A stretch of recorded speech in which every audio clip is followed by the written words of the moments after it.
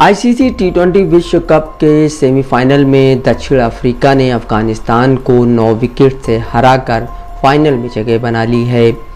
दक्षिण अफ्रीका ने अफ़गानिस्तान की पारी को छप्पन रनों पर ही रोक दिया था। इसके बाद सत्तावन रनों के लक्ष्य का पीछा करने उतरी दक्षिण अफ्रीका ने आठ दशमलव पाँच ओवरों में ही मैच जीत लिया।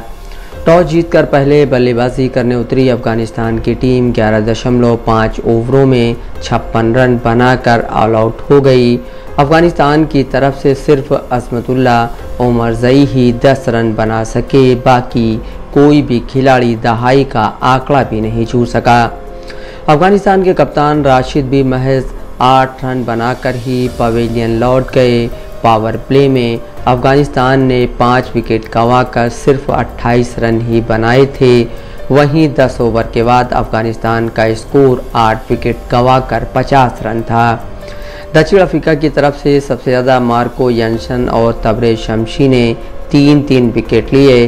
यंसन ने तीन ओवर में 16 रन दिए और तीन बल्लेबाजों को चलता किया तो वहीं शमशी ने महज एक दशमलव पाँच ओवर में छः रन देकर तीन विकेट झटके। कगी सोराबाडा और एंडिक नौरखिया ने दो दो विकेट लिए। अफ़गानिस्तान के कुल छप्पन रनों में तेरह रन एक्स्ट्रा से आए, जिसमें छः बाई छः वाइड और एक रन लेग बाई का था। वहीं दूसरी पारी में सत्तावन रनों के लक्ष्य का पीछा करने उतरी दक्षिण अफ्रीका। की टीम को दूसरे ओवर में पहला झटका लगा।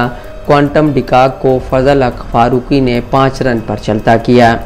इसके बाद क्रीज पर रीजा हेंड्रिक्स और कप्तान एडम मार्क्रम की जोड़ी जम गई। पावर प्ले खत्म होने के बाद दक्षिण अफ्रीका का स्कोर एक विकेट गंवाकर चौंतीस रन था।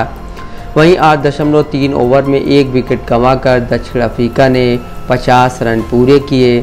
दूसरे विकेट के लिए हेंड्रिक्स और मार्क्रम ने बयालीस गेंदों में 50 रन जुटाए, तीन विकेट लेने वाले मार्को एंसन को प्लेयर ऑफ़ द मैच चुना गया। 27 जून यानी बुधवार को ही भारतीय समयानुसार रात 8 बजे भारत और इंग्लैंड के बीच दूसरा सेमीफाइनल मुकाबला खेला जाना है। इस मैच में जो भी टीम विजय होगी, वो फाइनल में दक्षिण अफ्रीका से भिड़ेगी।